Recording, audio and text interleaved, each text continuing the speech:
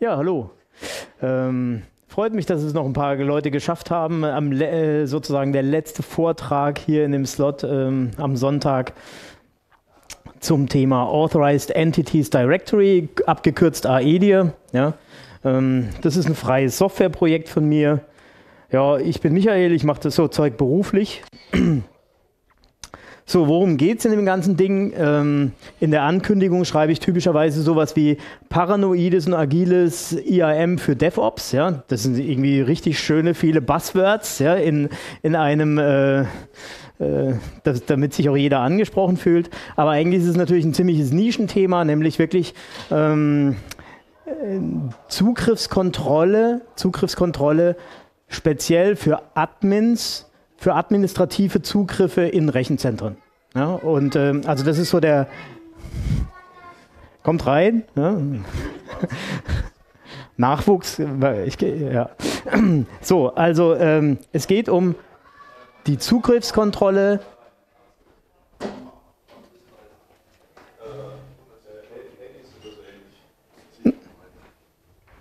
Immerhin. Okay, also es geht um Zugriffskontrolle für, äh, speziell für administrative Zugriffe in Rechenzentren, typischerweise Rechenzentren. Äh, sei es jetzt, was weiß ich, irgendwie reale Hardware, Cloud oder sonst irgendwas. Ja, das ist egal. ähm, das Ganze hat seine Wurzeln tatsächlich in einem Kundenprojekt. Ja, äh, das war sozusagen ein proprietäres Projekt. Und äh, daraus ist sozusagen äh, inspiriert aus diesem Kundenprojekt ist eben das freie Softwareprojekt AEDIA entstanden. Ja? Und äh, es ging eigentlich darum, dass die Security-Abteilung gesagt hat, naja, das kleine User-Management, was du mal in der einen Ecke da aufgebaut hast, das ist irgendwie so ganz schön, ja, aber es wäre irgendwie noch ganz schön, wenn zum Beispiel User und Gruppen tatsächlich nur auf den Systemen sichtbar wären, ähm, auf denen sie auch wirklich gebraucht werden, ja. So, und dann habe ich mich irgendwie so am Kopf gekratzt, also ich mache das schon eine ganze Weile mit so LDAP-Directories und so und ähm, habe dann natürlich irgendwie auch festgestellt, klar, man macht es normalerweise so nicht. Ja? Also wirklich so die Einschränkung von Sichtbarkeit ist eigentlich nicht Usus. Ja? Also alle sind eigentlich happy, wenn sie es schaffen, irgendwie die Maschinen und Systeme überhaupt irgendwie an ihr Active Directory zu klemmen. Ja? Aber das Problem ist eben, das Grundproblem ist, bei Active Directory, jede Benutzer und jede Maschine sieht quasi alles. Ja? So, also bis auf wenige Ausnahmen, da gibt es so ein paar Einträge mit speziellen Attributen, die sieht man dann nicht. Ja? Aber in der Regel ist es einfach so, ich habe irgendeine Windows-Maschine übernommen, dann sehe ich im Prinzip die ganze Windows-Domäne. Ja?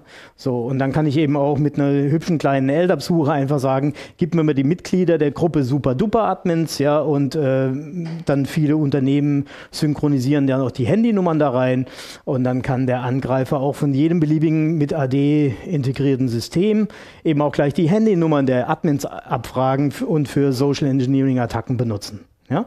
So, und das ähm, gilt es zu verhindern. so, das heißt, ich habe hier mal so ein paar generelle Security Requirements hingeschrieben, also denen ich versucht habe zu folgen, ja, und die findet man natürlich überall. Also egal, wo man in welches, in welche Sicherheitsrichtlinien man reinschaut, ja, es ist immer dasselbe. Also Need-to-Know-Prinzip, ganz klar, und natürlich nicht mehr Privilegien als unbedingt äh, erforderlich, äh, also Least Privilege Principle, und dann natürlich auch irgendwie Zuständigkeiten wirklich trennen. Ja, so. Und das findet man überall, ja, und wenn man sich dann aber reale Implementierungen anguckt, ja, dann setzt das kaum jemand um. Ja, so, beziehungsweise wie das in der Regel umgesetzt wird, ist, dass man einfach sagt, naja, also dann hänge ich diese, ähm, dann hänge ich diese Systeme mit dem erhöhten Schutzbedarf dann doch nicht an, an das zentrale AD, sondern ich mache noch ein weiteres Active Directory oder wie auch immer ein anderes geartetes äh, User Management, wie sehr beliebt im Linux-Bereich ist ja auch FreeIPA oder sowas. Aber selbe, selbes Designprinzip dort. Man kann im Prinzip in dem Datenbestand nicht die Sichtbarkeit auf die Daten eben auf die Systeme einschränken. Und ja, man macht es eben dadurch, dass man halt ähm, mehrere Benutzerverwaltungen dann wieder aufbaut, ja, und die dann wieder typischerweise über ein Meta-Directory oder sonst wie Identity Management äh, Produkt eben synchronisiert. Mehr oder minder gut. Das wollte ich hier genau nicht machen, sondern ich wollte sozusagen ein System schaffen, ja, wo wirklich die alle relevanten Daten in der Datenbank drin sind. Ja.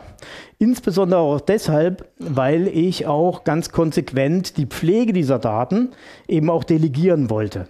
Ja. Ich, ich erkläre das nachher im Datei. So, und was natürlich auch ganz klar ist, ja, äh, wenn man so ein System macht, dann braucht man auch irgendwelche Audit-Trails. Also man muss auch irgendwie nachvollziehen können, wer hat eigentlich jetzt welche Daten geändert. So, und äh, das Ganze natürlich als Grundlage auch wirklich so für ein bisschen härtere Compliance-Checks. Also wirklich auch so, äh, auch zum Beispiel so gesetzlich regulierte Systeme, wo dann tatsächlich einmal pro Jahr jemand vorbeikommt und da genauer drauf guckt. Ja, was verstehe ich ähm, unter Secure DevOps? Ja? Ähm, das ist natürlich ein weites Feld, also ist auch ziemlich wolkig, also man kann das sehr wolkig anfangen. Ja? Ähm, in diesem Kontext hier, jetzt was Identity und Access Management angeht, verstehe ich darunter halt, dass, dass wenn Maschinen administriert werden, ja, dass wirklich immer auch wohl definierte Sicherheitsrichtlinien dabei angewendet werden, also eigentlich auf den ganzen Prozess. Ja, also und äh, das umfasst eben insbesondere auch die Zugriffsmöglichkeiten. Also wer darf jetzt eigentlich mit irgendeinem beliebten, äh, also mit irgendeinem beliebigen Config-Management Tool eigentlich irgendwo hi was hinballern und Maschinen halt umkonfigurieren. Also respektive mal runtergebrochen, wer darf zum Beispiel auf einer Kiste überhaupt rot werden? Ja? Ähm, das wird oft sozusagen anhand von Teams so strukturiert, ja, also in Unternehmen, ja. Aber äh, man kann das zum Beispiel auch ein bisschen agiler handhaben und zum Beispiel anhand von Projekten, ja. Also weil jetzt reden alle so über agil und äh, dann, dann sind die Sachen oft so projektbezogen. Ähm, was oft gerne gemacht wird auch, ist, dass man Dinge äh, anhand von Netzwerkgrenzen separiert. Ja, das ist auch äh, teilweise auch hilfreich oder so. Ja, und diese Inspiration, ja, dass man zum Beispiel auch wieder sagt ähm, oder sagen wir mal die, diese Struktur, dass man sagt, naja, da hat sich schon mal jemand was überlegt, dass man eine Infrastrukturzone hat, Frontend-Zonen, Mittelwehrzonen, Backend-Zonen. Das kann man zum Beispiel auch wieder oder das sollte sich nach meinem Dafürhalten auch widerspiegeln in den Berechtigungen äh, bei den Zugriffen. Und äh, ja, dann gibt es halt auch typischerweise in Projekten eben solche, so Staging, ja, also von der Entwicklung eben, wo man einfach sagt, ja, auch die Entwickler haben da irgendwie volle Kontrolle drüber auf den Spielmaschinen, auf den, denen sie unterwegs sind, ja. Äh, dann gibt es halt im Prinzip äh, meinetwegen eine Teststage, wo Entwickler nur noch eingeschränktere Rechte haben, die schon irgendwie so von dem Ops-Team äh, betrieben werden. Und dann gibt es eben im Prinzip äh, Produktionssysteme, wo nur wirklich Ops-Admins äh, zum Beispiel Zugriffe haben. Und all, all solche Strukturen sollen eben abbildbar sein.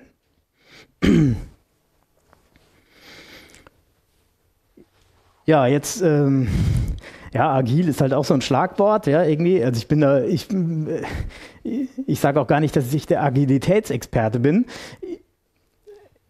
Ich beobachte nur, dass im Identity und Access Management eben die ganzen Workflows, also diese ganzen Prozesse, wie bekommt jemand äh, überhaupt Zugriff auf ein System, in keinster Weise agil sind. Ja, das heißt also, ähm, also insbesondere, äh, ja, natürlich einmal bei dem Onboarding, also Leuten wirklich Rechte beschaffen, ja, aber hinterher sozusagen auch die Rechte wieder wirksam entziehen. Ja, also das, das funktioniert alles überhaupt nicht gut. Ja, und äh, beim, beim Rechte beschaffen ist es noch so, derjenige, der die haben will, der kümmert sich irgendwie drum, dass er irgendwann auch arbeiten kann. Ja, ähm, aber wenn jemand ein Unternehmen verlässt, ja, dann ist irgendwie, naja, da müssten wir jetzt mal den User-Datenbestand aufräumen und so. Das, das passiert dann in der Regel nicht. Ja, also von daher soll es eben auch äh, da eben auch wirksame Mechanismen für geben.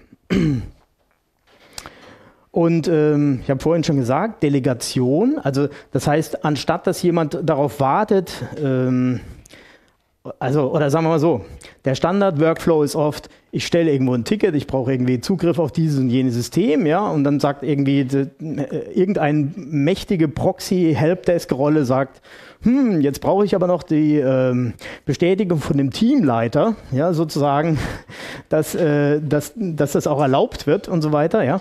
Dann haben wir schon zwei Leute da drin. Der eine, der sagen darf, dass das, äh, dass es passieren soll, ja? und der andere, der eigentlich gar nicht weiß, um welche Systeme es eigentlich geht. Eventuell weiß der Teamleiter auch nicht, um welche Systeme es geht, ja? irgendwie, sondern er sagt einfach nur, der soll arbeiten können, Egg, ja, und dann passiert es. Ja? So, und äh, das finde ich in vielerlei Hinsicht suboptimal. Ja? Das heißt, optimaler finde ich es, dass jemand, der wirklich es entscheiden kann, es auch gleich selbst tut, ja? weil dann ist es schneller. Ja? Und er ist sich auch irgendwie vielleicht auch bewusster, auf was es wirkt, was er da jetzt gerade macht. Ja? Also er schreibt nicht nur irgendwie Eck hin, ja? sondern, sondern er muss tatsächlich auch Daten pflegen, die, die eine Wirkung haben. Ja? So, also von daher keine Workflows. So, und natürlich, wenn man delegiert administriert, brauche ich im Prinzip fein granulierte Administration, also äh, fein granulierte Berechtigungsschemata, ja, irgendwie, um die, das überhaupt delegieren zu können. Und was ich natürlich auch brauche, sind eben Constraints, idealerweise direkt auf der Datenbank, ja, äh, um halt irgendwie Fehleingaben, inkonsistente Eingaben zu vermeiden. Und ähm, wo ich auch immer ein großer Fan bin, wenn sozusagen alle Arten von Schnittstellen, ja, also sowohl zum Beispiel ein Webinterface als auch, ähm, auch zum Beispiel der direkte LDAP-Schreibzugriff, ja, wenn da immer dieselben Regen, Regeln gelten. Ja. So, nochmal ein bisschen so Anti-Patterns, ja, also was ich zum Beispiel nicht mag, sind allmächtige Proxy-Rollen. Also Leute, die eigentlich von dem Detail, von der Fachlichkeit überhaupt keine Ahnung haben, ja, aber die Berechtigung haben, es zu tun. Das ist so Helpdesk-Mitarbeiter, oft schlecht bezahlt. Ähm, eine Rolle, die, die man insbesondere bei, sagen wir mal, Systemen mit höherem Schutzbedarf jetzt nicht unbedingt irgendwelche Sachen machen lassen will. Ja? Zum Beispiel, ja, also. Ähm, dann eben langsame Workflows, ja, also hier, der muss auch noch genehmigen und da noch und so und ruckzuck summieren sich die Tage, die man warten muss, bis es dann tatsächlich passiert. Ja. Äh, für mich ist auch ein Anti-Pattern zum Beispiel Personeneinträge, also Personen direkt als Benutzeraccount zu verwenden, ja, weil das dann sozusagen dazu führt, dass, dass die Menschen immer nur genau einen Account haben. Ja. Also das ist eben ein Anti-Pattern eben auch wieder denselben Account für alles zu verwenden.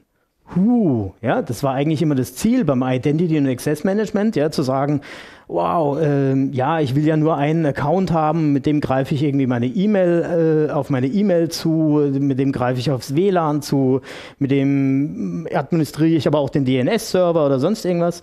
Und da sage ich eben, hm, ist ein bisschen suboptimal, wenn die Leute ihr E-Mail, also das, das Passwort von dem einen Account eben zum E-Mail-Abruf in ihr Smartphone ein eindengeln und da abspeichern. Ja? Dann sollte man nicht das, denselben Account mit demselben Passwort zum Umkonfigurieren des zentralen DNS nehmen oder so. Ja, so. Das heißt, man braucht einen Weg zu sagen, eine Person hat mehrere Accounts für verschiedene Aufgaben mit verschiedenen Sicherheitsstufen.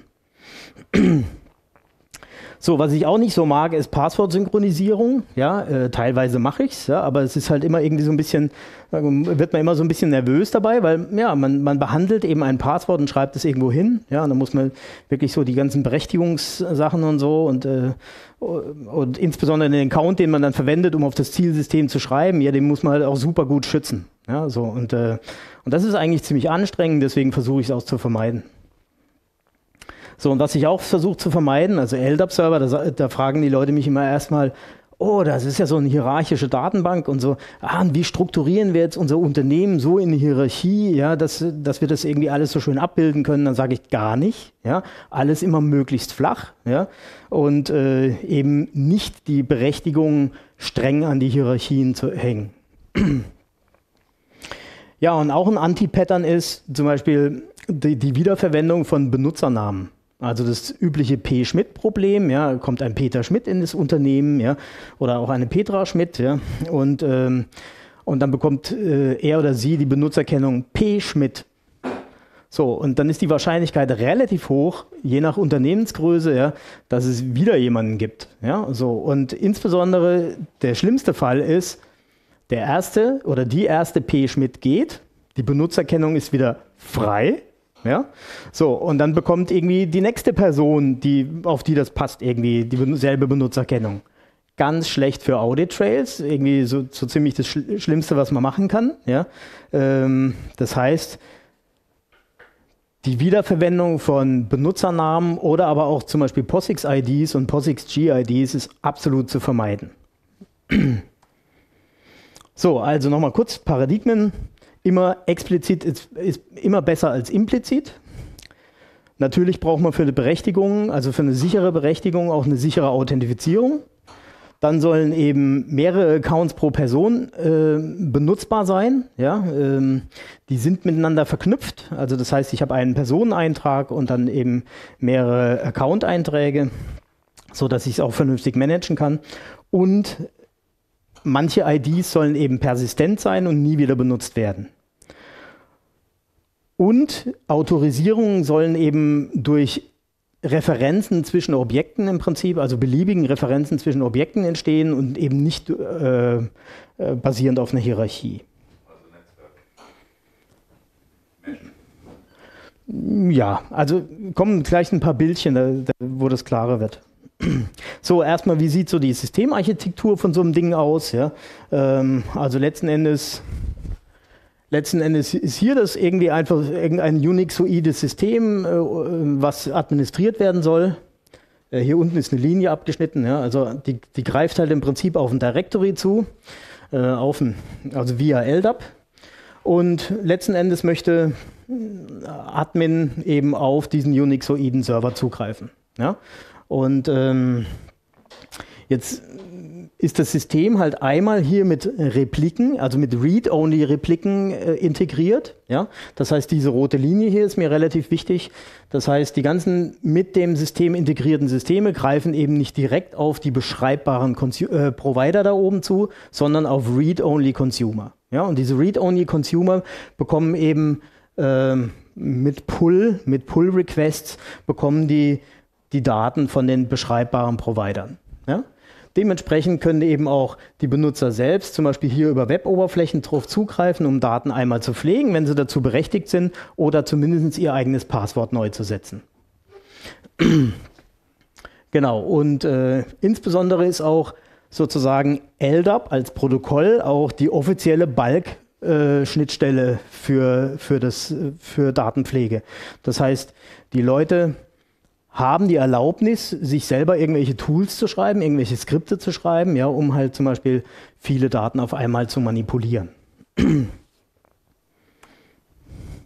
Ja, das Ganze muss natürlich hoch verfügbar sein. Also sowas ist typischerweise so eine Replikationstopologie. Das heißt, ich habe hier wieder diese Beschicht, äh, Schicht von diesen beschreibbaren Providern, ja, und dann habe ich eventuell halt Gruppen von, äh, von Read-Only-Consumern in verschiedenen äh, in verschiedenen Rechenzentren.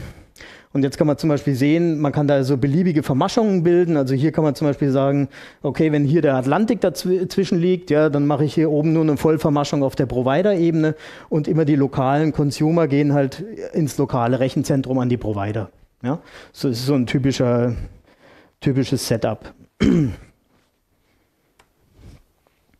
So, jetzt habe ich zwar gesagt, keinerlei Hierarchien und so, ja, aber es gibt halt trotzdem eine Baumstruktur in LDAP immer grundsätzlich. Ja. Deswegen auch hier.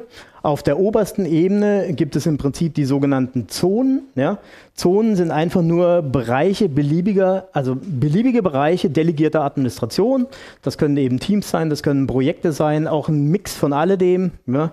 Und, ähm, und in, davon gibt es jetzt äh, auch mehrere besondere Zonen, zum Beispiel eine PUB-Zone. Das ist wirklich einfach wie, wie der PUB-Ordner auf einem FTP-Server. Alle angeschlossenen Systeme können da, äh, alle darin enthaltenen Objekte äh, lesen. Dann gibt es eine Zone AE. Das ist eben eine spezielle Zone, weil das System auch mit sich selbst integriert ist. Also ähm, äh, von daher ist das die Zone für die Administration von AEDIA selbst, von den AEDIA-Systemen selbst. Und dann kann man sich noch besondere Zonen machen, wie zum Beispiel irgendwie, wo man Personen und, äh, und Organisationsdaten zum Beispiel aus einem Personalwesen rein synchronisiert. So, und typischerweise in so einer Zone gibt es eben persönliche User-Accounts. Persönliche User-Accounts sind wirklich Benutzerkonten für Personen. Ja? Dann gibt es äh, Benutzergruppen. dann eben Servicegruppen und eben noch Sudo-Regeln und auch be besondere Benutzergruppen, die zum Beispiel auch wieder für die delegierte Administration einer Zone äh, benutzt werden. Also typischerweise, die Zonen-Admin können eben alles innerhalb einer Zone eben beschreiben und verändern und die Zonenauditoren können innerhalb einer Zone alles lesen. So, und das kann man dann auch ein bisschen weiter runterbrechen. Also man kann eben Hosts anlegen und eben Benutzeraccounts anlegen für integrierte Systeme. Und bei den Hosts kann man sogar auch noch Netzwerk, äh, Netzwerkkonfiguration dran kleben, wenn man das möchte. So, das ist so das volle ER-Diagramm, ja. Äh, und wie, wie ihr seht, seht ihr da gar nichts. Deswegen habe ich mal so einen etwas freundlicheren Auszug davon gemacht. So, also, das zentrale Element sind eigentlich Servicegruppen. Also die Servicegruppen, die modellieren alles, also Mengen von Diensten oder auch zum Beispiel mm, Rechnern, ja, die unter dieselben Sicherheitsrichtlinien fallen sollen. Das ist jetzt die abstrakte Variante. Ich sage jetzt mal ganz konkret, eine Servicegruppe ist zum Beispiel ein geclusterter Service. Ja, also zum Beispiel die AEDIA Provider selbst sind auch wieder eine Servicegruppe und die AEDIA Consumer auch. Die erbringen jeweils einen bestimmten Teil eines Dienstes und deswegen sind die sozusagen geclustert in, in eine Servicegruppe. so, in, in dieser Servicegruppe sind eben einmal entweder so Dienstekonten oder Tool-User oder Service-Accounts oder wie auch immer das äh, nennen wollt, ja, die quasi benutzt werden, um überhaupt Daten abrufen zu können von dem System. Also das heißt, Grundgedanke ist einfach wirklich, ups, Grund, Grundgedanke ist wirklich, diese Systeme hier müssen sich selber hier anmelden, um autorisiert zu werden, ja, überhaupt Daten sehen zu können. Also Benutzer, Benutzergruppen, Sudo-Regeln und so weiter. Ja? Also das heißt, jeder dieser, dieser Server, und das können auch mal viele sein, also bei dem einen äh, proprietären Vorgänger sind es ungefähr 15.000, die haben alle ein individuelles Passwort. Ja?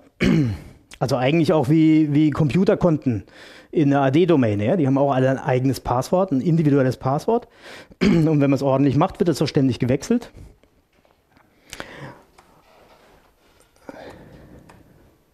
So, und auf jeden Fall hier sind im Prinzip die Mitglieder eben der Servicegruppe sind im äh, Prinzip immer die Tool-Accounts oder zum Beispiel auch die Host-Accounts, die unterscheiden sich so ein bisschen voneinander, ähm, die benötigt werden, um überhaupt Benutzerdaten und Gruppen sehen zu können. Und wie kommt jetzt die Sichtbarkeit zustande? Okay, hier diese Tools oder Hosts oder wie auch immer sind Mitglied dieser, in dieser Servicegruppe. Und im einfachsten Fall setzt man hier praktisch einen Link ja, eine Referenz auf eben eine Benutzergruppe. Äh, noch kurz zur Erläuterung, was ist eigentlich, also wie ist das strukturiert, das Bild? Das Kästchen ist im Prinzip immer ein Eintrag, es soll einen LDAP-Eintrag repräsentieren. Die Beschriftung innerhalb dieses Kästchens ist die sogenannte strukturelle Objektklasse, also der Typ des Eintrags. Ja? Und die Links zwischen den Dingern, das sind einfach Attribute und die enthalten meistens einfach den hierarchischen Distinguished Name von dem referenzierten Eintrag. Ja? So, das heißt, hier habe ich im Prinzip schon mal eine Beziehung, ist quasi, äh, ist quasi Mitglied von der Servicegruppe. Und dann gibt es hier zum Beispiel ein Attribut, das heißt I Visible Groups. Und das sagt einfach, okay, wenn dieser Link existiert, dann werten die Berechtigungen das so, dass eben einmal die Gruppe sichtbar wird für hier das angeschlossene System und auch deren Mitglieder. Ja? Das heißt, damit dieser User für dieses System zum Beispiel sichtbar ist, muss die komplette Referenzenkette über hier praktisch dieses Attribut und den Member eben existieren. Also die muss korrekt gesetzt sein. Und genauso soll zum Beispiel irgendeine bestimmte Gruppe Sudo-Regeln, äh, also Sudo Befehle ausführen können, ja, dann gibt es auch hier wieder eine, eine Sichtbarkeitsregel. Ist die Sudo-Regel überhaupt sichtbar? Ja? Und hier dann wieder eine Referenz eben auch auf wieder eine User-Gruppe. So, das ist schon der ganze Mechanismus eigentlich, ja. Also, und ähm, die ganzen Einträge sind halt jeweils in, in Zonen und können deswegen von den Zonen-Admins tatsächlich völlig autark gepflegt werden. Das heißt, typischerweise ist es so, dass ein Zonenadmin zu dem übergeordneten AI-Admin kommt und sagt, ich brauche so eine Zone, und dann sagt er okay und legt ihm einfach so eine leere Zone an ja, und delegiert die einfach an diesen Benutzer. Oder einen, äh, einen neuen Account, den er erstellt. Ja.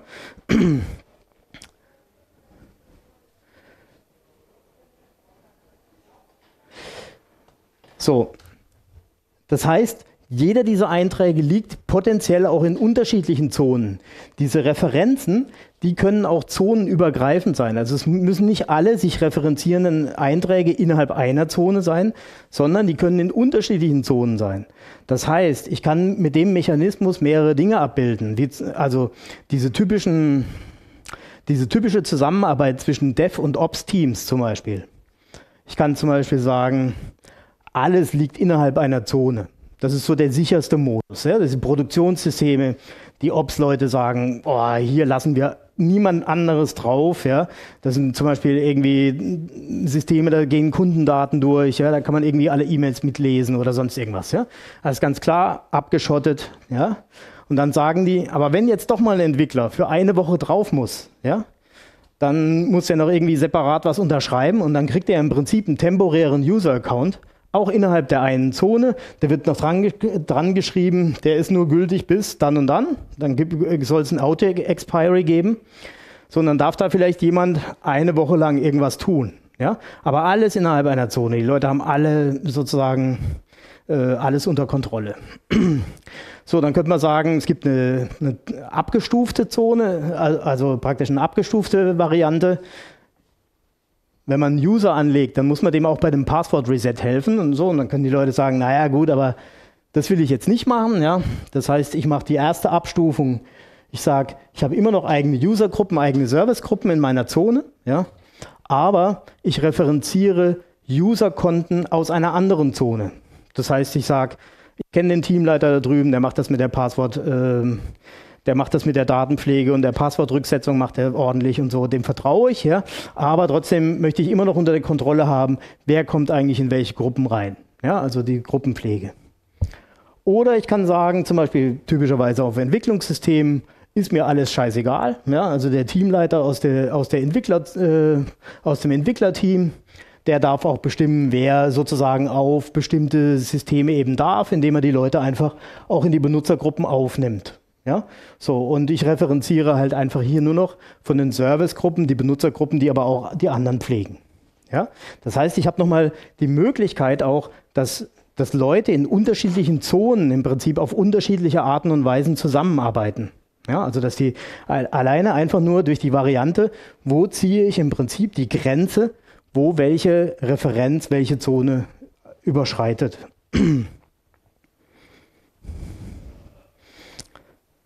Soweit klar? Ja, dann mach mal.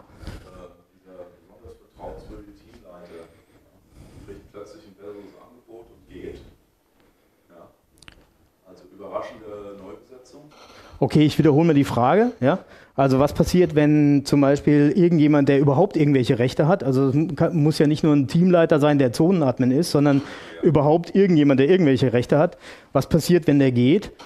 Ähm, Typischerweise würdest du, also hier oben seht ihr zum Beispiel, deswegen gibt es hier eine Unterscheidung zwischen quasi Tool-Accounts und, und äh, wirklich persönlichen User-Accounts. Persönliche User-Accounts sind mit einem Personenobjekt äh, verbunden. Ja? So, typischerweise kann es eben zu einer Person eben mehrere User-Accounts geben. Also hier gibt es eine 1 zu N-Beziehung. Ja? Und diese äh, Personeneinträge, die werden halt typischerweise mit einem Personalwesen synchronisiert. Das heißt, das muss man dann halt jeweils umgebungsspezifisch anpassen, also je nachdem, was die Leute als Personalwesen haben oder als Datenexportschnittstelle oder sowas. Ja. Das heißt, wird die Person zum Beispiel deaktiviert, weil sie eben das Unternehmen verlassen hat, wird auch automatisch, schlägt dann zwei Minuten später ein Grondjob zu, der auch alle angeschlossenen persönlichen User-Accounts deaktiviert. Ja. Ähm, dieser Mitarbeiter soll, also der neue, soll fast alle Rechte bekommen, die der Alte hatte? Ja, bestimmt. Neu beantragen. Immer neu beantragen. Also irgendwas klonen ist übrigens, ach so, das habe ich vergessen auf meiner Anti-Pattern, auf dem Anti-Pattern-Slide, ja. Also irgendwas klonen und so, ja, oder irgendwas übernehmen oder so, ist ein totales Anti-Pattern, ja, irgendwie, das, wird, äh, das kriegst du nie in den Griff. Das heißt, sämtliche Rechte, das ist immer so das Vorgehen, ja, sämtliche Rechte müssen einzeln neu beantragt werden. Sonst kommst du nämlich unter in Teufelsküche. Ja. Naja, also okay, noch eine Sache.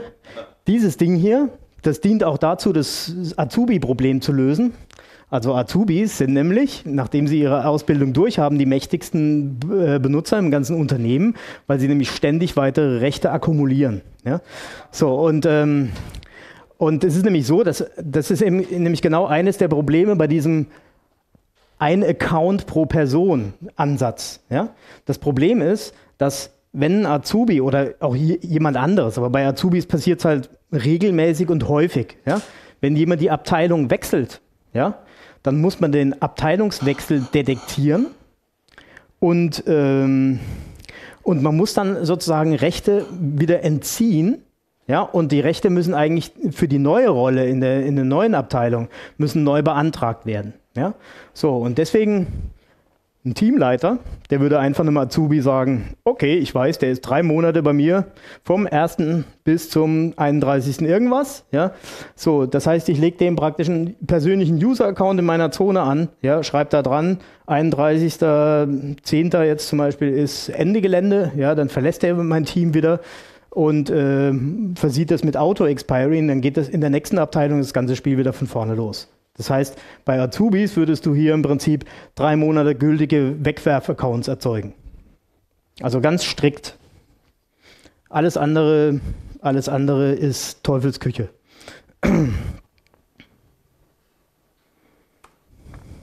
So, nochmal kurz zusammenfassen, was gibt es da überhaupt für Rollen? Also die AI-Admins sind wirklich die, die sozusagen das ganze System administrieren. Die dürfen sich typischerweise eben auch auf die AI-Server selber einloggen. Ähm, also wird eigentlich noch mal ein bisschen unterschieden zwischen AI-Admins und AI-Sys-Admins, aber, aber im Wesentlichen ist es das. Also die dürfen halt praktisch alle Daten auch ähm, an manchen Regeln vorbei im Prinzip ändern, äh, wenn sie irgendwas reparieren müssen. Kommt in der Regel nicht vor, dass sie was reparieren müssen. Sie sollen aber sich aus dem täglichen Datenpflegegeschäft raushalten. Also ihr erinnert euch, vorhin habe ich gesagt, ich will keine super mächtigen Proxy-Rollen haben, also keine so Helpdesk-Rolle, die irgendwie alles darf und die, die dann aber auch die tägliche Arbeit macht. Nee, das sollen die gerade nicht tun. Ja, das heißt, das Einzige, was die im täglichen, bei der täglichen Datenpflege macht, ist neue Zonen anlegen. Fertig. Ja? Und so ein bisschen natürlich überprüfen, ob alles in Ordnung ist. Ja? So, und dann gibt es die AI-Auditoren. Ja? Die, das ist halt die Auditorenrolle für Wirtschaftsprüfer, sonstige Auditoren, die in einem Unternehmen eben aufschlagen und irgendwie komplette Reports erstellen wollen. Ja? So, und dann gibt es eben für die tägliche Datenpflege die Zonen-Admins, die dürfen eben schreiben, genau in den Zonen, für denen sie äh, Zonen-Admins sind. Die Zonen-Auditoren, die dürfen eben alles in Zonen lesen. Typischerweise können sich zum Beispiel auch Leute, also gerade wenn die Referenzen zwischen den Objekten zonenübergreifend sind, nehmen die Leute sich quasi wechselseitig als Zonenauditoren auf. Also quasi ähm, ein Dev-Teamleiter nimmt typischerweise die Ops-Leute als Auditoren in seiner eigenen Teamzone auf. Ja, also die, die und äh, und eben die Ops-Leute ermöglichen zum Beispiel den Lesezugriff dem Teamleiter bei den Entwicklern ja? so dass die auch ähm, Fehler finden können in den Beziehungen. hm? Ja. So, dann gibt es noch eine Rolle Setup-Admin. Setup-Admin sind im Prinzip die, die quasi eigentlich ein Cluster erweitern können. Also die können im Prinzip innerhalb einer Servicegruppe neue Hosts oder Services anlegen und die mit einem Passwort versehen.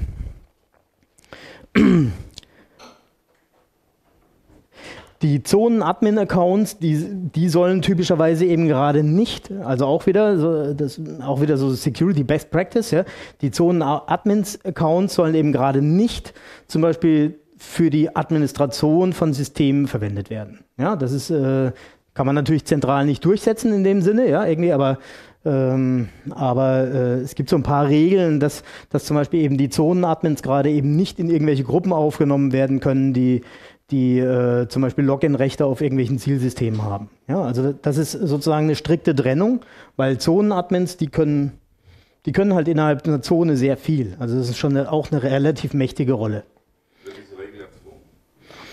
Äh, teilweise ja, aber du, ich meine, du kannst nicht verhindern, dass sich jemand irgendwie ganz mutwillig in, in äh, sozusagen in, in, äh, ins Knie schießt. Aber das können wir nachher im Detail besprechen. Okay, natürlich, die Benutzer können einfach quasi zur Datenschutzauskunft, können sie natürlich ihre eigenen äh, Einträge lesen und auch die, äh, in welchen Gruppen sie sind. Und natürlich können sie ihr eigenes Passwort setzen, das müssen sie natürlich können. Okay, wer, wer, hat sich eigentlich schon mal mit LDAP-Servern rumgeschlagen von euch? Okay, also ähm, das da oben ist, glaube ich, relativ berühmt berüchtigt, wenn man das schon mal getan hat, ja, irgendwie. Also äh, gerade so Dinge wie Gruppenschemata, hu, äh, verwende ich jetzt RFC 2307 oder RFC 2307 bis, ja, irgendwie, das sind so verschiedene Gruppenschemata, ja mein Ziel war, all diesen ganzen, all diesen ganzen Wust den Leuten im Prinzip abzunehmen und einfach zu sagen, hey, was auch immer da draußen irgendein LDAP-Client haben will, ich liefere ihn aus. Ja? Das bedeutet, ähm, dass ich zwar proprietäre Schemata habe, ja, die beginnen alle mit äh, den beiden Buchstaben AE, also sämtliche Objektklassen, Attributtypen, die proprietär sind innerhalb des Systems, äh, beginnen mit diesem äh, Präfix. Aber diese ganzen Objektklassen und Attributtypen werden in den Client-Konfigurationen eben gerade nicht verwendet. Ja? Also das heißt, nach außen ist das Ding praktisch ein Standard LDAP. Ja, so. Und äh, egal welches Gruppenschema die Leute haben wollen, durch so, so eine hybride äh, Objektklasse ähm, kann ich eben sozusagen sowohl das Member-Attribut als auch das Member-UID-Attribut sozusagen ausliefern, ja, und Constraints sorgen dafür, dass die Wertemengen in sich konsistent sind. Ja, also wer hat sich damit schon rum, rumgeschlagen hier? ja, genau. Also das kann man eigentlich ganz einfach lösen mit so hybriden äh, Objektklassen. Ja, also das ist einfach Mehrfachvererbung, ja, so, so von den passenden Basisklassen. So, und auch ein beliebtes Problem ist, dass die Standardobjektklasse Group of Names keine leeren Klasse, äh, äh, na, das kann man aber auch, äh, das kann man eben auch lösen und das ist da drin auch gelöst. So, dann nochmal noch mal ganz wichtig, ja, also um überhaupt eine vernünftige, sichere Autorisierung machen zu können, ja, müssen die jeweiligen beteiligten Entitäten ja, wirklich eindeutige IDs bekommen. Ja? Und das sieht man ja noch relativ schnell ein bei Benutzerkennung ja, oder eben auch bei POSIX UID und POSIX GID von Gruppen und so weiter. Aber es gibt eigentlich noch ein paar andere interessante Sachen. Ja? Nämlich, nämlich ist es ziemlich praktisch, Unique Constraints auch durchzusetzen auf zum Beispiel Namen von Gruppen natürlich weil die können ja immer global auch referenziert werden. Also einmal natürlich die Namen, ja, aber zum Beispiel auch auf den FQDNs von Hosts. Ja, so, wir erinnern uns, ja, äh, eben Host-Objekte sozusagen werden wirklich richtig eingetragen und bekommen ein Passwort. Ja? So, und deswegen klebt an diesen Host-Objekten eben auch wieder ein Hostname, der äh, eindeutig ist. Und dann kann ich aber auch noch weiter Netzwerk-Device-Einträge anlegen. Und damit kann man ziemlich coole Sachen machen. Weil wenn ich zum Beispiel sage, hm, ich hinter, hinterlege hier ein Triple von FQDN und MAC-Adresse, jemand fängt einfach an, Server zu administrieren und sagt, ja, der hat jetzt die und die IP-Adresse mit dem und dem DNS-Namen. Wenn er der Erste ist, dann gehört ihm ab dann autoritativ dieser DNS-Name. Ja, jetzt vergleicht das kurz mit, ihr pflegt einfach im DNS ja, also äh, das DNS setzt eben keinerlei Unique-Constraints durch, ja? aber wenn ihr im Prinzip hier die Netzwerkdaten einpflegt, dann habt ihr sogar von Systemen und ihren Netzwerkdaten, zum Beispiel wie einer MAC-Adresse, einen eindeutigen Bezug über die ganze Referenzenkette. Wir gehen da mal kurz noch zurück. Also hier, wenn hier eine MAC-Adresse drin steht, ja, kann ich praktisch über diese Referenzenkette festlegen, welcher User darf sich zum Beispiel auf ähm, bei zum Beispiel Network Access Control mit 802.1x da eigentlich sozusagen authentifizieren. Ja. So, oder auch so ein Thema, ich, also eins meiner Themen ist eben auch PKI. Ja. Und äh, dann sagen die Leute immer, ja, Michael, wir brauchen jetzt eine PKI und wir wollen Serverzertifikate ausstellen. Und dann sage ich, ja, okay, mh. wie legt ihr denn fest, wer für welchen DNS-Namen ein Zertifikat beantragen darf? Und dann geht's los. Ja, dann geht's los. Also, ja, also, hm, und naja, aber wer, also, dann kann man auch irgendwie sagen, ja, der, der den DNS-Eintrag macht, aber die wollen das dann meistens gar nicht äh, sein, ja, also, äh, oder die sind auch nicht diejenigen, die, die zum Beispiel den, äh, den Server administrieren und da eigentlich Schlüsselmaterial tauschen können, ja, und so. Und deswegen braucht man eigentlich Berechtigung, ja, in so einer PKI. Und dann ist es irgendwie ziemlich cool, wenn man zum Beispiel sagen kann, ah ja, okay, ich kenne hier den Hostnamen, ich kenne den FQDN, also habe ich hier die Referenzenkette, über hier sozusagen das spezielle, spezielle Attribut AE Setup Groups. Das sind genau eben diese Setup Admins. Dann kann ich sagen, die Rolle Setup Admins in dieser Service Group darf natürlich in einer PKI dann ein Zertifikat für diesen Namen ausgestellt bekommen, weil das ist typischerweise derjenige, der den, äh, der, der den Server eben administriert. So, das sind dann so Nebeneffekte. Also neben dem eigentlichen, der eigentlichen Aufgabe, ja, ein Identity und Access Management äh, bereitzustellen, ja, kann man eben sagen, okay, wenn ich da ordentlich gepflegte Daten drin habe, dann kann ich auch noch ein paar andere Dinge damit tun. Und alles immer im Rahmen dieser delegierten Datenpflege. Okay, wie wird das Ganze installiert? Ähm, also es gibt eben ein freies Softwareprojekt ja, auf einer Webseite und die Installation erfolgt eben über eine Ansible-Rolle, also gibt es eben Ansible-Rolle und Ansible-Playbooks, ja, und äh, ihr klont euch das im Prinzip einmal die Rollen, einmal im Prinzip so ein, schon so ein Beispiel-Seitverzeichnis. ihr schreibt dann da, wer kennt sich so mit Ansible aus? Hm? Also knapp die Hälfte. Ähm, Im Prinzip im Prinzip gibt es in Ansible so ein Inventory, ja, da sagt man einfach, es gibt diese und jene Hostgruppen, äh, die haben diese und jene FQDNs, ja, und äh, letzten Endes par parametrisiert man über dieses ganze Inventory schon die komplette Installation. Das heißt, ähm, man muss dann natürlich noch Serverzertifikate ausstellen und so weiter, aber letzten Endes, wenn man das Ding hochzieht, kriegt man quasi so eine komplett, äh, komplett vermaschte Replikationstopologie. Ja, also das macht alles eine Ansible-Rolle. Ähm, das ist im Prinzip, das sind die Defaults dieser Ansible-Rollen, das sollte man sich echt durchlesen, also die Kommentare, die da dran äh, stehen, ja, weil da, äh, damit man so ein bisschen versteht, was man da parametrisieren kann. Das Schöne an dem Ansible ist es tatsächlich, ja, dass, dass man also die Rollen funktionieren relativ gut jetzt. Also äh, das war natürlich auch eine längere, längere Historie, weil ich habe damit auch Ansible gelernt quasi. Ja, und ähm, aber inzwischen funktioniert das relativ gut. Also das heißt, man, man verbaselt irgendwas, man macht irgendwas kaputt, ja. Und solange man noch irgendwie an die Maschinen rankommt, ja, ähm, korrigiert sozusagen das Ansible dann die Dinge wieder hin. Ja, und äh, das funktioniert relativ gut. So, Ihr werdet eventuell schon gemerkt haben, dass mir Sicherheitsaspekte relativ wichtig sind.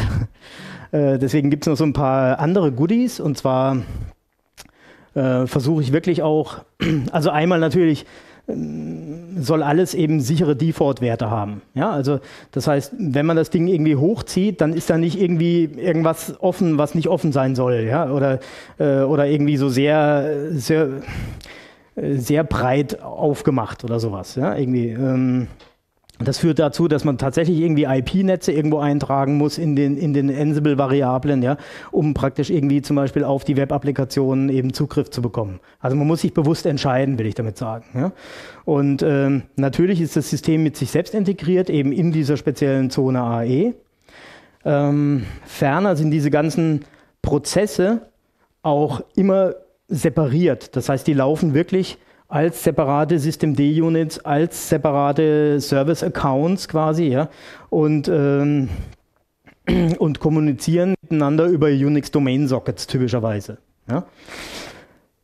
Das Kommunizieren über Unix-Domain-Sockets, also ich weiß nicht, wer das kennt, also LDAP über, über IPC, also über Unix-Domain-Sockets zum Beispiel, da kann man zum Beispiel sagen, Der Service Account A greift auf den LDAP-Server zu und der LDAP-Server mappt den dann automatisch auf intern auf eine LDAP-Entität quasi, ja, ohne dass der sich im Prinzip mit dem Passwort authentifizieren muss.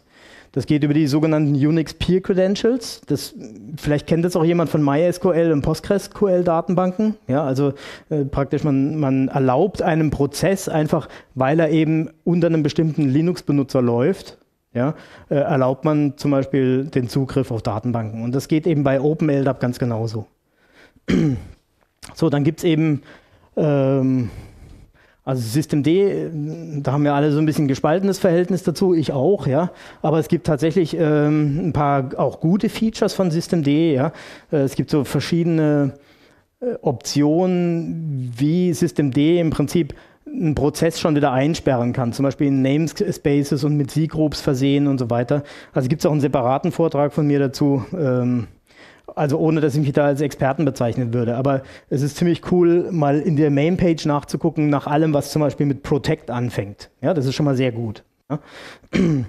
Dann ferner, wenn auf dem, wenn auf dem System ein App-Armor initialisiert ist und läuft, ja, dann äh, installieren die Ansible-Rollen automatisch auch App-Armor-Profile für die komplett, also für alle Dienste. Ja, äh, was übrigens erstaunlich wenig Arbeit war. Also ich hätte irgendwie erwartet, dass es viel mehr ist. Ja, irgendwie. Aber auf jeden Fall sind die praktisch alle confined. Also alle Dienste, die ihr vorhin in einem, in einem Architekturschaubild gesehen habt, haben individuelle App-Armor-Profile.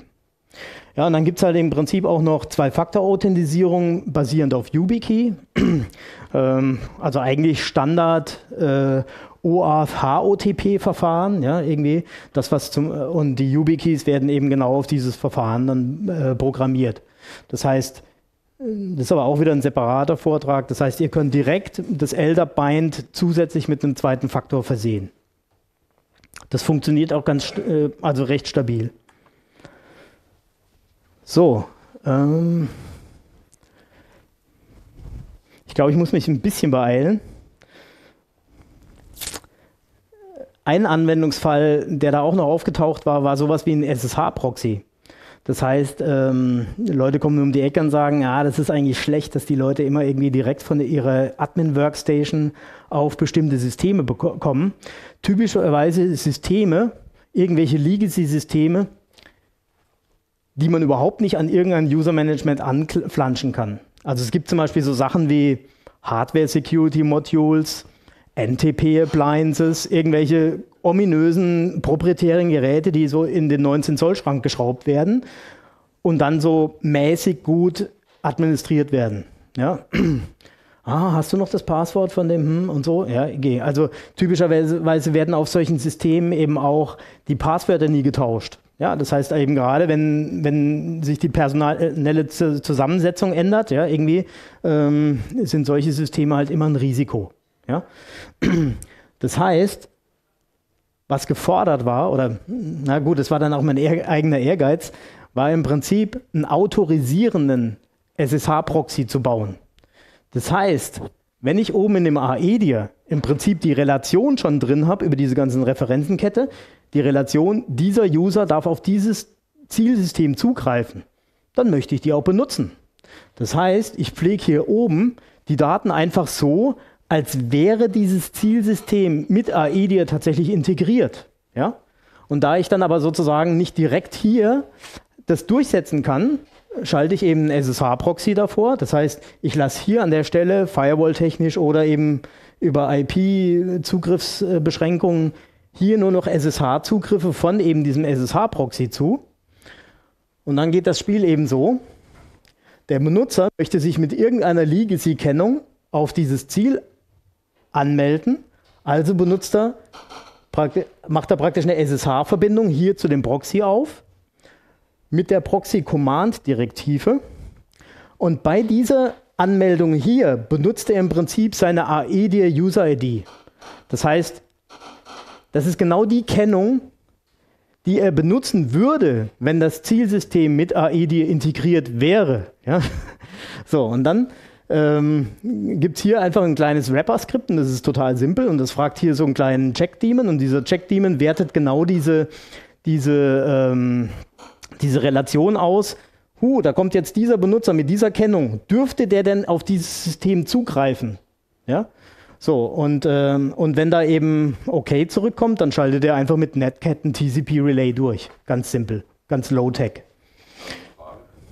Was muss der User da oben anders machen als, äh, als sonst? Ja? Schreibt er da einfach diese erste Zeile oder schreibt er was anderes? Proxy Command, das ist so eine kleine Direktive. Also äh, guck einfach in der SSH-config Manpage nach, nach dieser, nach dieser Direktive, das Proxy-Command.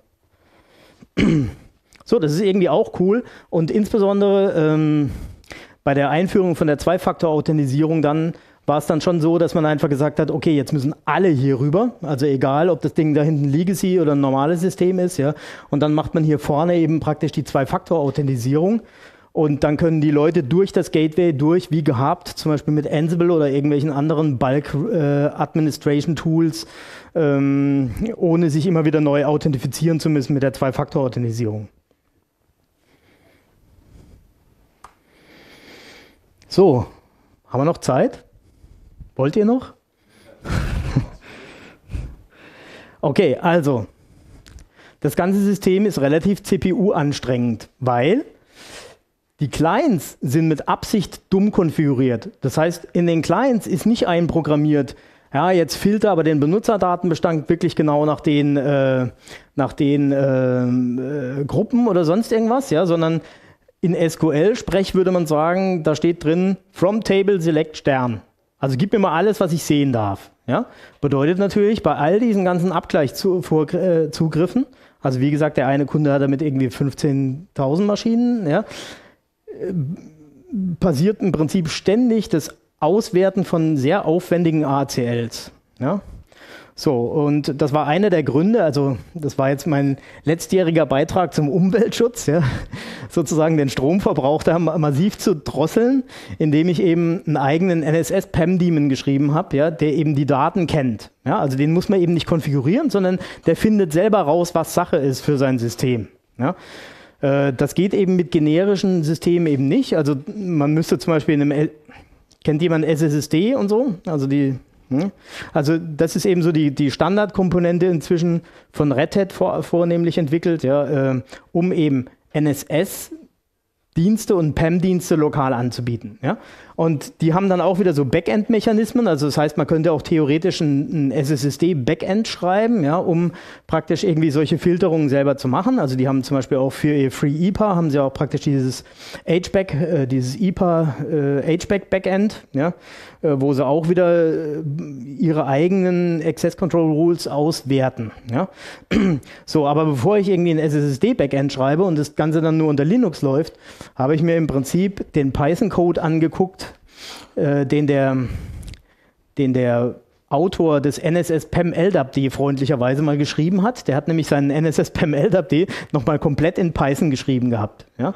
So, und das habe ich dann sozusagen als Vorlage genommen, ja, irgendwie so, so ein Ding selber zu bauen. Ja? Und das ist eigentlich auch, das ist viel schlanker und macht eben genau das sozusagen und, äh, und kann auch den ganzen Prüfungsquatsch und so, den, den alle anderen machen müssen, weil sie eben mit beliebigen Rotz von Daten zurechtkommen müssen, einfach weglassen, weil die Daten, die AED liefert, sind halt durch diese ganzen Constraints einfach perfekt. Also man kann da sozusagen nicht einfach irgendwelchen Rotz rein äh, pflegen, ja, sondern man läuft dann da immer irgendwie auf irgendeinen Constraint drauf, wenn man halt eine nicht existierende Gruppe oder nicht mehr aktive Gruppe referenziert oder sowas. Ja.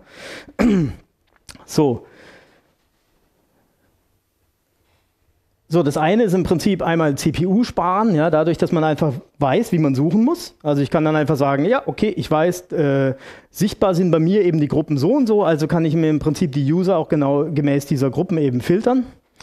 Und das nächste Thema, was eben auch sehr wichtig ist, wenn man zum Beispiel Server automatisiert hochfahren will, ja, also Server automatisiert im großen Stil dutzendweise sozusagen installieren und konfigurieren will, dann ist natürlich dieser dieser Schritt, jedem Server ein eigenes Passwort zu geben für die Admins relativ anstrengend. Ja, also das, das mögen die jetzt nicht unbedingt. Ja, so.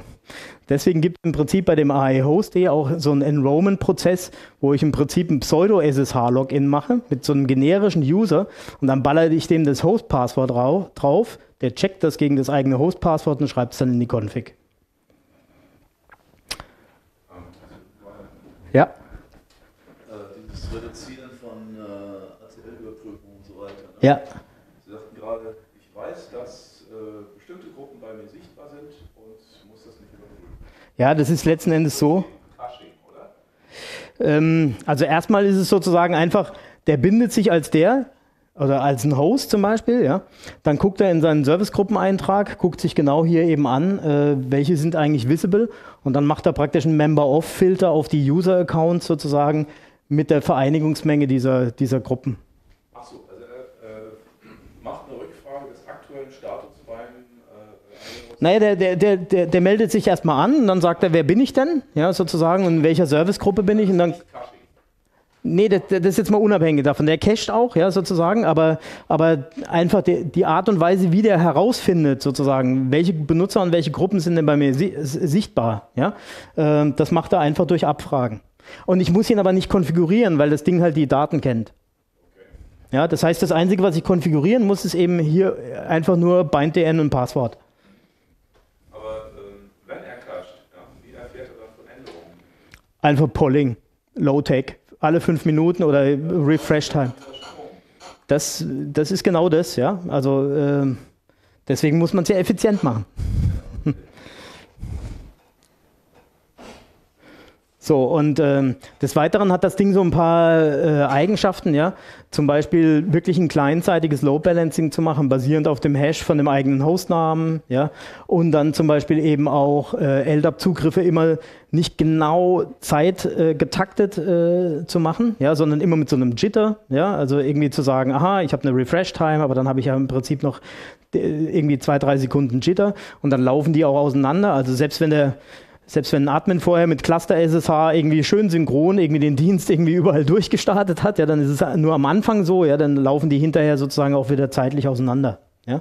Äh, dann hat das auch so ein paar äh, bessere Features, wie man zum Beispiel viele LDAP-Repliken angeben kann, wie der dann wirklich Failover macht und so weiter und so fort. Also so ein paar Sachen, die mir bei SSD halt fehlten, wenn man halt viele Systeme einfach hat und viele Repliken. So, und insbesondere war ich dann auch irgendwie ein bisschen müde, zum Beispiel die SSD-Leute nach einem äh, bestimmten Feature zu fragen.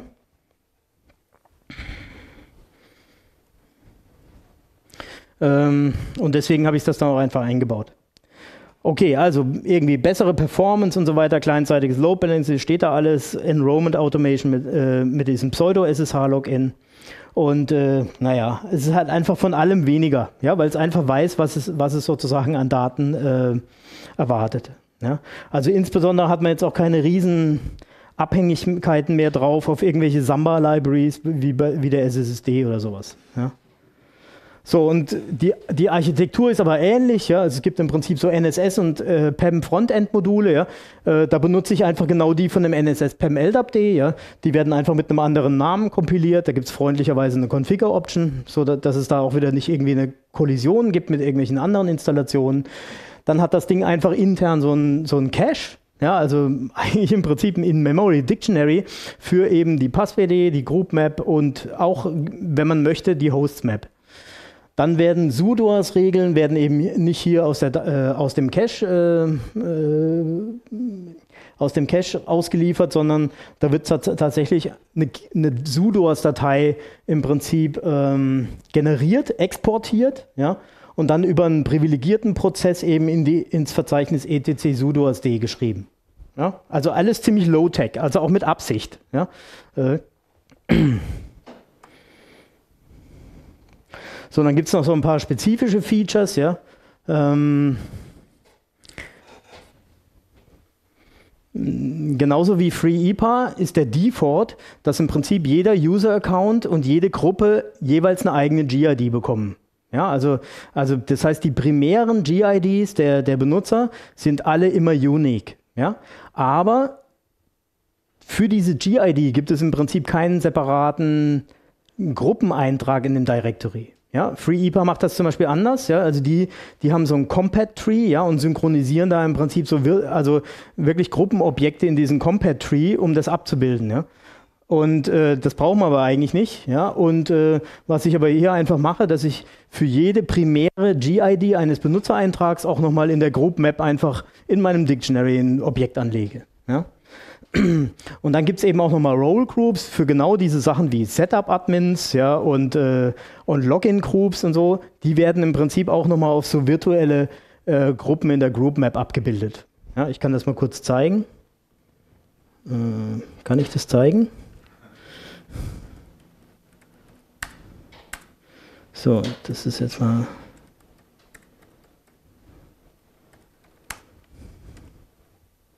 Na? So. Also hier sieht man so die virtuellen Gruppen von den, ähm, von den einzelnen User-GIDs. Ja, das sind im Prinzip die virtuellen Gruppen. Und, äh, und dann sieht man, ja, wo habe ich das? Ja, machen wir mal so.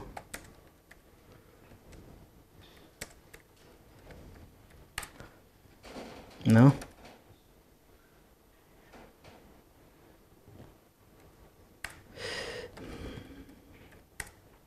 Ah, hier, genau. Und da sieht man jetzt zum Beispiel die Rollengruppen. Ja, das sind im Prinzip die Vereinigungsmengen jeweils der, der referenzierten Gruppen, zum Beispiel von den Setup-Admins. Ja? Und da kann ich dann auch wieder was machen, wenn ich jetzt zum Beispiel sage, oh, ich habe sowieso nur eine sudo-Regel, die einfach su-root erlaubt, ja, für eine bestimmte Gruppe, dann kann ich auch sagen, naja, dann, dann mache ich einfach mir hier eine lokale Konfiguration, die einfach su- erlaubt für genau diese Gruppe. Ja, das ist derselbe Effekt und ich habe nicht dieses sudo-Monster an der Backe. Ja? Also hat immer alles Vor- und Nachteile. Ja, aber solche Sachen äh, kann man dann eben mm, abbilden. Oder eben auch äh, genau diese, wer darf eigentlich Logs lesen? Welche Gruppen dürfen Logs lesen? Ja? Das ist auch typischerweise, machen die Leute so Sudo-Regeln so, um auf Varlog-Messages oder sonst irgendwas zugreifen zu können. Irgendwie eine ganz schlechte Idee. Also dazu sind eigentlich Datei Ownership und Permissions da, ja, irgendwie. Und, äh, und das, damit kann man das dann relativ leicht machen.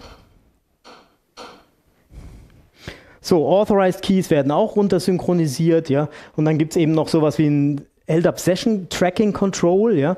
Ähm, da kann ich sozusagen hinterher sogar in den LDAP-Logs lesen, ähm, von welcher IP-Adresse kam zum Beispiel der SSH-Client, wenn er ein Zulu gemacht hat äh, und, äh, und dann den Bind-Request für die Passwortprüfung reingesendet hat. Ja? Das ist auch sehr schön. Das war so ein Feature-Request an SSD, aber sie haben nicht verstanden, warum ich es wollte. Also das Einzige, was sich in dem Ticket ändert, ist im Prinzip seit mehreren Jahren, dass sie immer den Milestone hochsetzen. Ja, okay, also ja, also Sicherheit ist schon möglich. Ähm, ist natürlich anstrengend, das ist Arbeit. Ja. Äh, in der Ecke habe ich euch versucht, die Arbeit abzunehmen, falls ihr euch dafür interessiert. Ähm, man braucht am Anfang, am Anfang ist es relativ erklärungsbedürftig. Ja. Ähm, ein Kunde hat irgendwie so gemeint, der eine, der das betreut, hat gemeint, ah, Michael, seitdem du weg bist und ich muss es jetzt anderen erklären, habe ich es viel besser verstanden. Ja.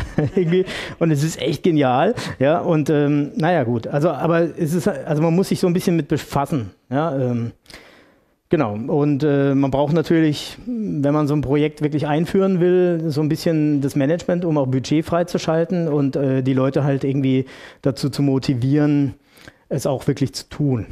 Ja. Und äh, für mich ist halt auch etwas, was ich immer wieder so erlebe, also ich entwickle das System ja noch weiter, ja. Ähm, äh, alle Ideen, die ich so habe, ja, da muss ich immer sehr stark darauf aufpassen. Also es ist jetzt, äh, dass ich quasi äh, ursprünglich mal gemachte Versprechen eben hinterher nicht äh, durch eine Änderung wieder breche. Ja, also das heißt, diese Paradigmen, die ich ganz am Anfang hingeschrieben habe, ja, also das ist, das ist im Prinzip der Filter, den jede Idee durchlaufen muss auf eine sehr harte Art und Weise, ja, bevor ich dann irgendetwas tue. Ja, so. Und äh, naja, von 20 Ideen macht es vielleicht eine. Ja, so. Also. Okay, da gibt es das alles. Ja, irgendwie. Und äh, da gibt es auch ein, da gibt's auch ein Online-Demo, da könnt ihr direkt drin rumklicken. Das ist so eine kleine VM, also ein einzelner Provider. Ja, und unten ist die, das Projekt, was die Zwei-Faktor-Authentisierung da direkt in LDAP implementiert. Genau, und dann sind wir jetzt so bei Fragen und Antworten angekommen.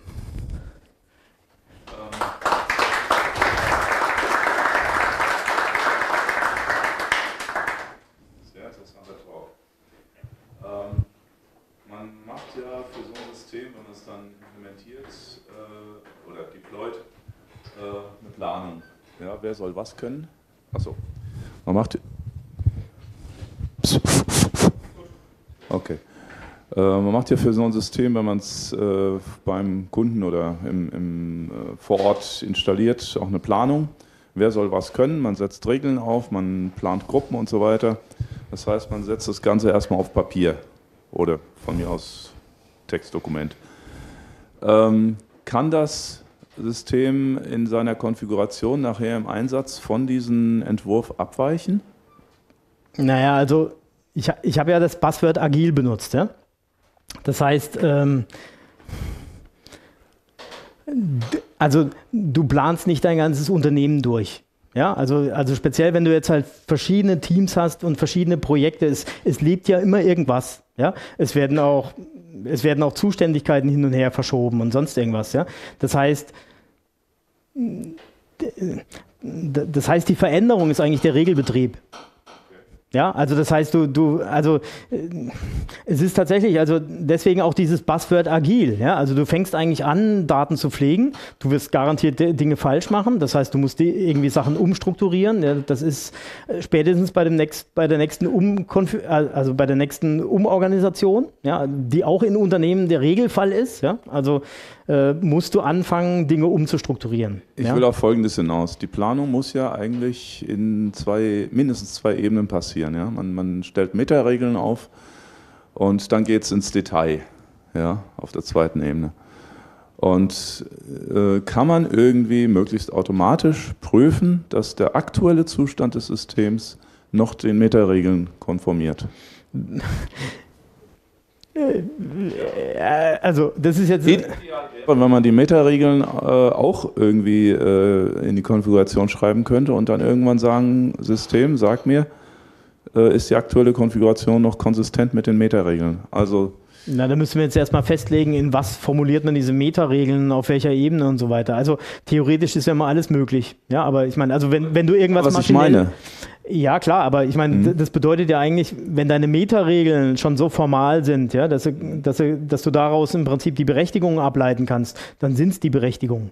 Also ich möchte nicht, dass zum Beispiel durch die Urlaubsvertretung des obersten Admins plötzlich der Geschäftsführer Sachen machen darf, die er Nein, nicht, das, nicht das soll. passiert ja sowieso nicht. Ja, also, ja. hey, nochmal ganz hart. Ja, also, also entweder du hast die Chance, also entweder du hast das Recht, ein Objekt und seine Beziehungen zu ändern oder nicht. Mhm. Ja, also nur weil jetzt jemand in Urlaub ist, bekommt nicht irgendwie automatisch irgendjemand irgendein Recht. Nein, nein, nein. Aber also, ich sag mal, Urlaubsvertretung, der macht ja unter Umständen Sachen anders, als ich die gemacht hätte. Ja. Und dann sagt zum Beispiel der Geschäftsführer, ich muss jetzt ganz dringend dieses Dokument so und so behandeln. Ja. Ja, also. Die, die Urlaubsvertretung sagt dann, hm, ja, na gut. Ja, und man kommt dann aus dem Urlaub zurück und die Welt geht unter. Also, also erstens gibt es eine Access-Log-Datenbank, das heißt, es wird sehr detailliert jede Änderung mitgeschrieben, also auch recherchierbar. Also du kannst sie direkt an, an äh, ich kann das mal kurz zeigen. Ja, das ist nachher beim Entlassungsgespräch sehr wertvoll. ja, aber natürlich auch. Ähm, ich meine, ob jemand entlassen wird, es steht nochmal auf einem anderen Blatt. Also hier unten kannst du zum Beispiel einfach draufklicken, ja, und da werden im Prinzip in der Access-Log-Datenbank sämtliche Schreibzugriffe auf einen Eintrag mit protokolliert. Und zwar sehr, sehr detailliert. Ja, also. Ich habe sehr viel zu lesen. Also, du würdest ja im Prinzip jemanden, den du gar nicht geschult hast, auf keinen Fall irgendwie zu einem AE-Admin machen oder auch nicht zu einem Zonen-Admin. Ja? Das heißt, in der Regel bereiten die Leute ihren Urlaub ja quasi vor. Also die wissen ja im Prinzip, also die Praxis zeigt einfach, ja, dass zwar ein Teamleiter, der zum Beispiel auch echt fachlich Ahnung hat, was Sache ist, ja, dass der aber das trotzdem nicht alleine macht. Ja, weil der kann ja immer krank geschrieben sein. Ist ja nicht nur die Urlaubssituation, sondern er kann auch einfach äh, krank sein oder, oder noch schlimmer. Ja, so, das heißt, das heißt, die Vertretung, also wenn, wenn du keine ordentliche Vertretung vorgesehen hast, dann ist sowieso deine Orga kaputt, würde ich jetzt argumentieren. Ja. Annehmen, dass, der, äh, dass die Urlaubsvertretung weiß, was sie tut. Ja? Dass der aber eben nur in diesem meinem Urlaub am, äh, da ist und deswegen auch äh, im Haus vielleicht nicht die Hausmacht hat, äh, einem unsinnigen Ansinnen des Geschäftsführers zu widerstehen. Ja, aber nochmal, Technik löst keine Orga-Probleme. Ja, also wenn du halt irgendwie, auch, äh also das, das, würde ich auch nie versprechen. Mhm. Ja? Also ich meine, es ist bloß so, dass, dass allen halt, die das benutzen, klar ist, ja, dass, dass dieses dass dieses Setzen von Referenzen, ja, dass das halt Bericht, Berechtigungen äh, setzt auch. Ja, das ist den Leuten schon klar. Also die Leute, die du zu einem Zonenadmin machst, denen muss das schon klar sein. Ja? Mhm. Und es ist auch so, dass, dass quasi meine Ansage an die Leute ist auch immer, Leute, die Zonenadmins sind, müssen im Prinzip alle Objekte in, ihrer in ihren Zonen fachlich verstehen. Und wenn es irgendwelche gibt, die sie nicht fachlich verstehen, dann ist der Zonenzuschnitt falsch.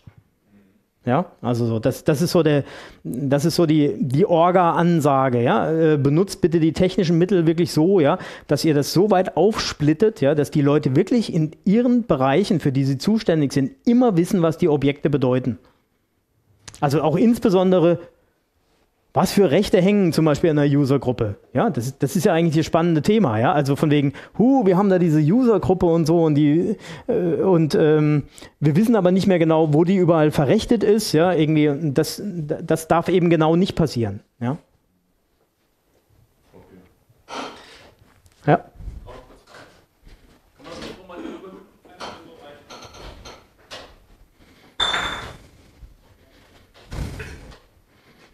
Hi, hallo. Zum Abschluss noch ein paar äh, Anfängerfragen. Kannst du mir die Folie mit der roten Linie noch mal kurz zeigen?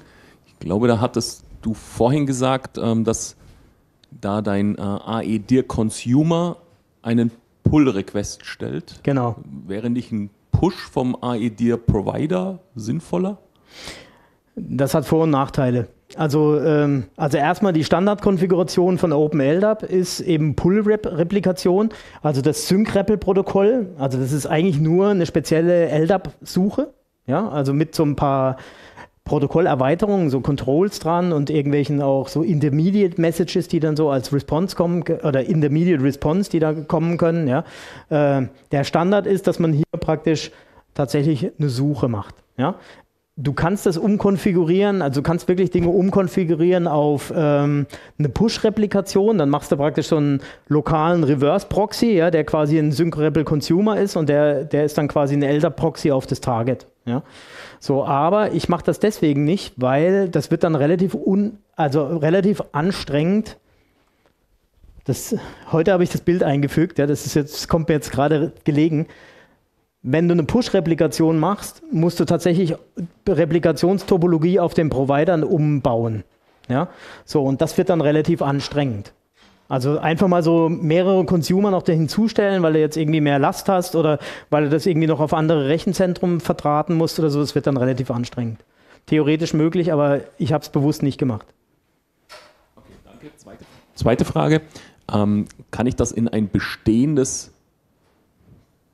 IAM-System einbinden? Also kann ich mich zwischen reinsetzen oder muss ich es neu aufbauen, wenn ich jetzt sage, ich möchte.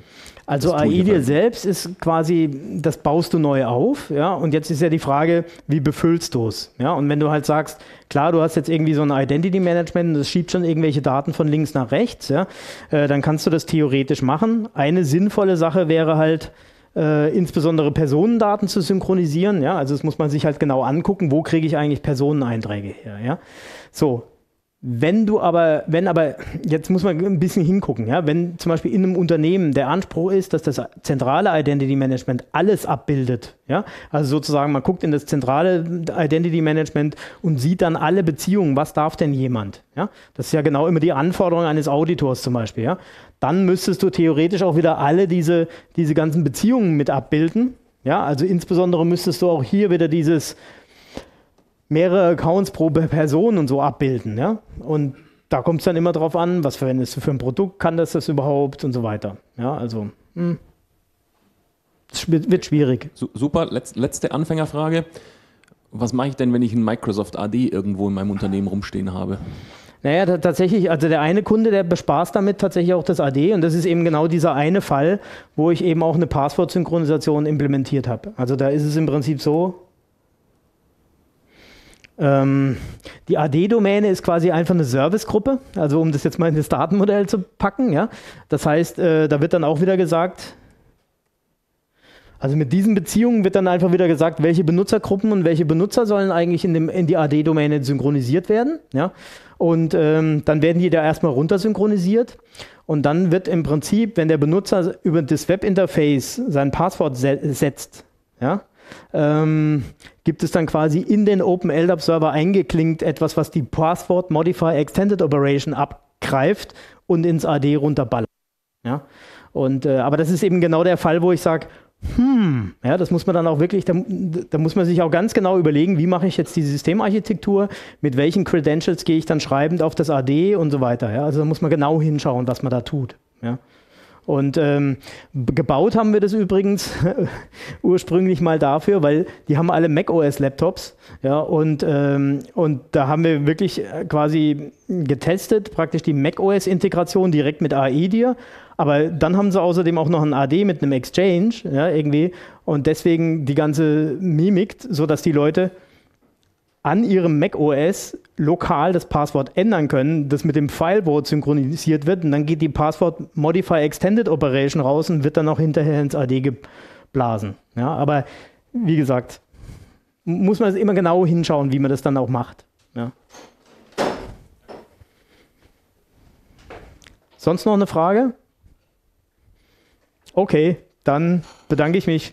Ciao.